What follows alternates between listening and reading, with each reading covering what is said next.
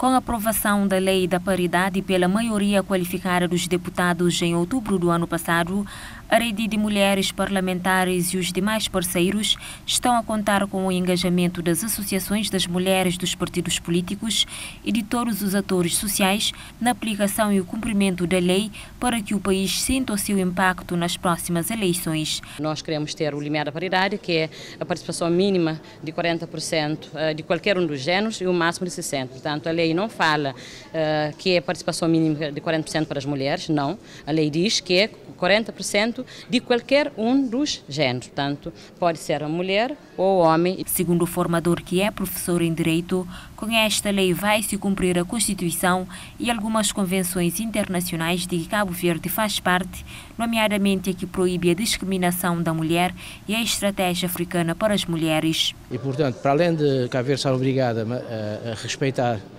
o clausulado das, das convenções internacionais, a própria Constituição da República de Cabo Verde estabelece o princípio de igualdade.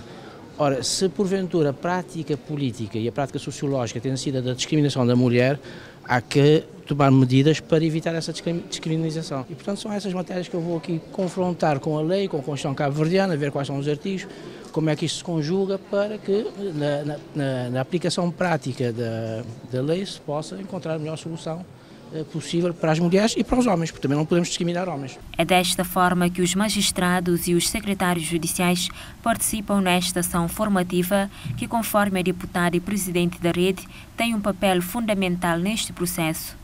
Nós uh, achamos que o engajamento, uh, portanto, dos magistrados é fundamental nesse processo. Nós estamos a falar da justiça social uh, e nós queremos diminuir a desigualdade que existe a nível da participação política das mulheres e os homens deste país, então esse engajamento e o comprometimento, portanto, desse, uh, uh, classe, dessa classe profissional é fundamental. Para além da análise da lei, sua estrutura interna e compatibilidade com a Constituição, neste encontro foi também partilhada experiências de outros países sobre a paridade do gênero.